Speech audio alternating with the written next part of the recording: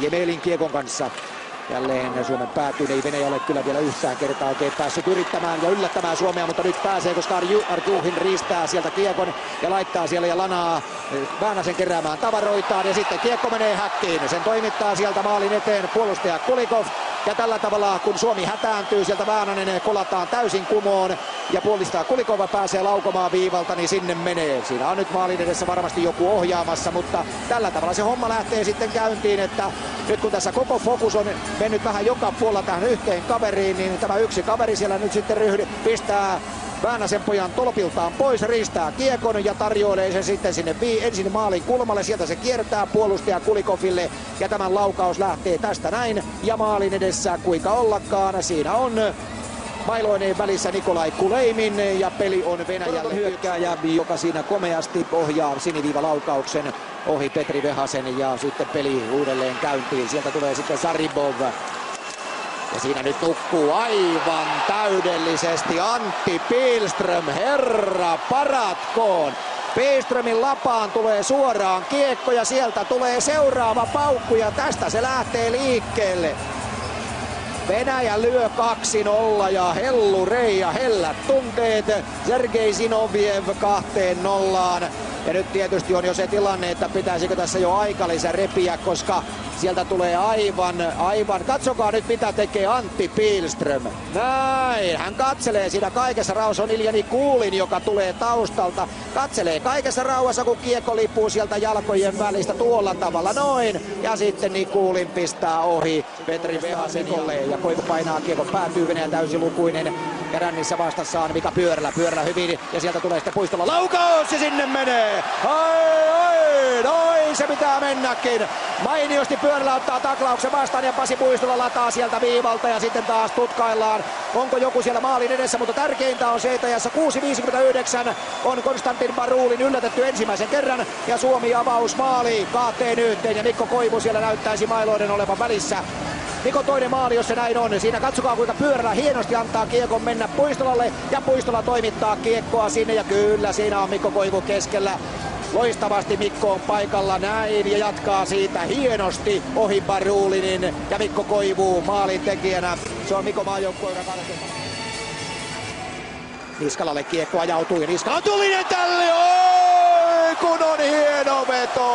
Janne Niskala näyttää, että pistäkää pojat tänne vain laattaa, niin minä päräytän menemään. Ja olipa mahtava laukaus Niskalalta kerta kaikkiaan. Siitä aloitusvoitto ja Janne Niskala päräyttää, voisiko sanoa koko miehisellä komeudellaan, niin että helinä vain kuuluu. Ensimmäinen maali tässä turnauksessa, 36-39 peliaikaa käytetty ja olipa komea tälli. Jarkko Immonen raapii aloituksia katsokaa Niskala, sieltä veto lähtee ja Konstantin Baruli Turin sanoi, että huha hei, iskee polvilleen ja kiekko repussa. Todella komea maali ja kova veto. Barulin oli kyllä yllättäen valmiina jo polvillaan siinä Jarkko Immoselle. Tämä on jo kuudes tehopiste ja Suomi tulee 2-2 edellisessä rankkarissaan, mutta onnistui sitten Masalskisia vastaan ja Konstantin Barulin täysin kirjoittamaton kortti vielä näissä rankkarikilpailuissa. Millä tavalla Immonen onnistuu ja onnistuu komeasti. Laittaa komeasti rystypuolelta kiekon reppuun ja siinä on ainakin avaus hienon hieno Suomelta. Ja koko ajan tässä puhutaan näistä taiturimaisista venäläisistä. Nyt se sitten nähdään, millä tavalla Ilja Kovaltsuk vastaa tähän huutoon, kun Jarkko Immonen pistää rystyltä oikein kauniisti maalin kattoon. Kovaltsuk pääsi kolmannessa läpi, silloin Teemu Lassila oli parempi. Muistetaan, että Lassila oli rankkari, omassa rankkarikilpailussaan mainio. Ja sitten kuulette, missä yleisön sympatiat tällä hetkellä ovat, mutta tämähän ei sympatiaottelu ole ollenkaan. Kovaltsukin kova vauhti ja kova veto. Ja oi, Teemu Lassila pysäyttää kiekon komeasti. Ja näin ollen siitä ei ainakaan ratkaisua Venäjälle tule. Ja sitten Mikko Koivu, joka on onnistunut siis kaikissa ampumissaan rankkareissa. Näinköhän se jatkuu, nimittäin kolme onnistunutta rankkaria. Se on kova suoritus, se on kova prosentti, tämä on pelaajalla vaikea tehtävä. Ja mies tulee sieltä kovalla vauhdilla. Jälleen on pistänyt rystyltä tähän mennessä, että syötsit, oi, oi, oi, oi, oi, Kyllä se on selvää. Passin lihaa, kun Koivun poika tulee sieltä.